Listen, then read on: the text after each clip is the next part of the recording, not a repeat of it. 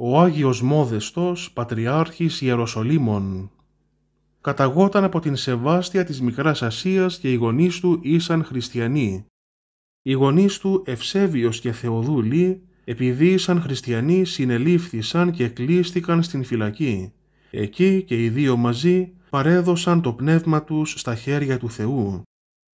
Μόλις οι δεσμοφύλακες μπήκαν στην φυλακή ξαφνιασμένοι, τους αντίκρισαν νεκρούς, ενώ ανάμεσα στα νεκρά σώματά τους βρισκόταν ζωντανό το βρέφος τους. Οι στρατιώτες πήραν τον Ήπιο και το έφεραν στον αυτοκράτορα Μαξιμιανό. Ο Άγιος Μόδεστος τότε ήταν περίπου πέντε μηνών και ο Μαξιμιανός, βλέποντας ότι το παιδί ήταν χαριτωμένο, το παρέδωσε σε κάποιον συγκλητικό, με σκοπό να το αναθρέψει με κάθε επιμέλεια, ώστε να γίνει άξιο να υπηρετεί τον Δία, τον ανώτερο υποτίθεται ψευτοθεό των ειδωλολατρών. Ο Μόδεστος κάποτε έμαθε από ποιους γονείς γεννήθηκε και ακόμη πως αυτοί πέθαναν στην φυλακή για την αγάπη του Χριστού. Τότε γεννήθηκε μέσα του φλογερή η επιθυμία να μάθει ποιος είναι ο Χριστός. Κατόρθωσε και βρήκε κάποιον χριστιανό δάσκαλο και έτσι διδάχθηκε από αυτόν την πίστη του Χριστού στην οποία και παρέδωσε ολόψυχα τον εαυτό του. Πήγε στον τάφο των γονέων του και τους παρακαλούσε με δάκρυα να τον ελευθερώσουν από τα χέρια των ειδωλολατρών για να αξιωθεί να λάβει το Άγιο Βάπτισμα και να υπηρετεί ολόψυχα τον αληθινό Θεό. Εκεί τον βρήκε κάποιος χριστιανός Αθηναίος αργυροκόπος που τον λυπήθηκε και τον πήρε μαζί του στην Αθήνα.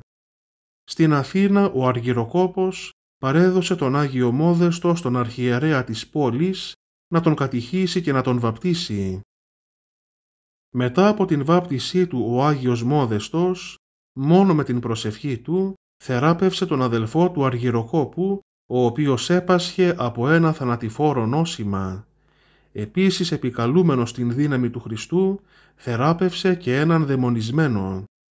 Η φήμη των θαυμάτων αυτών έκαναν ονομαστό στην χριστιανική Αθήνα τον Άγιο Μόδεστο. Μόλις όμως εκοιμήθη ο Αργυροκόπος, ο Μόδεστος κληρονόμησε ένα μέρος από την περιουσία του, την οποία αφού διένυμε στους φτωχούς, αποσύρθηκε στα γύρω βουνά των Αθηνών, όπου ζούσε ζωή ασκητική. Τα παιδιά του Αργυροκόπου, που φθονούσαν τον Άγιο Μόδεστο, τον πήραν μαζί τους στην Αίγυπτο. Εκεί τον πούλησαν σε κάποιον κακότροπο ειδωλολάτρη άρχοντα ως δούλο. Ο Άγιος Μόδεστος το δέχθηκε αυτό σαν έργο της θείας Οικονομίας για την σωτηρία του.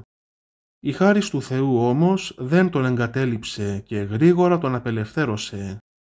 Τότε ο Άγιος Μόδεστος ελεύθερος πια πήγε στα Ιεροσόλυμα, όπου προσκύνησε όλα τα ιερά προσκυνήματα και αποσύρθηκε στο όρος Σινά. Συνέβη το διάστημα εκείνο να εκδημήσει ο αρχιερέας των Ιεροσολύμων και όλο το πλήθος των χριστιανών συγκεντρώθηκε έξω από τις κλειστές πύλες του ναού της Αναστάσεως και περίμεναν να δουν ποιον αρχιερέα θα τους στείλει ο Θεός. Πίστευαν ότι τις πύλες θα τις άνοιγε ο ίδιος μόνο με την προσευχή του. Τότε από θεία νεύση ο θείος Μόδεστος έρχεται από το Σινά στα Ιεροσόλυμα και βρίσκεται μπροστά στις σφραγισμένες πύλες του ναού. Δια της προσευχής του Αγίου οι πύλες του ναού άνοιξαν από μόνες τους. Από τους χριστιανούς εκείνη τη στιγμή ο θείος Μόδεστος παρά τις αντιρρήσεις του εξελέγει αρχιερέας των Ιεροσολύμων. Ως ιεράρχης ο Άγιος Μόδεστος στους δύσκολους εκείνους καιρούς των διωγμών έδινε τον σκληρό αγώνα να συνδράμει στα δεινά του ποιμνίου του με πολυάριθμα θαύματα. Η παρησία του προς τον Θεό ήταν τέτοια ώστε θεράπευε ακόμη και τα ζώα.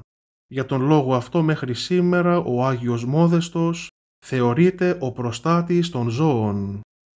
Κάποτε ήρθαν στα Ιεροσόλυμα για εμπορικό σκοπό τα παιδιά του Αθηναίου Αργυροκόπου που είχαν πωλήσει ως δούλο τον Άγιο Μόδεστο.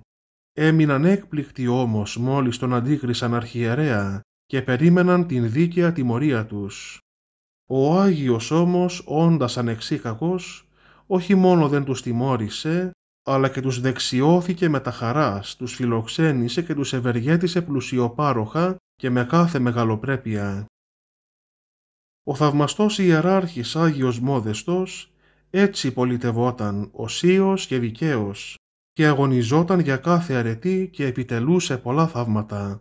Τα θαύματα που έκανε όμως προκάλεσαν τους φθονερούς Εβραίους, οι οποίοι τον κατήγγυλαν στον ειδωλολάτρη ηγεμόνα της πόλης. Ο ηγεμόνας αφού τον συνέλαβε, τον πρόσταξε να προσφέρει θυσία στα είδωλα. Ο Άγιος αρνήθηκε και ο ηγεμόνας τον υπέβαλε σε σκληρά βασανιστήρια.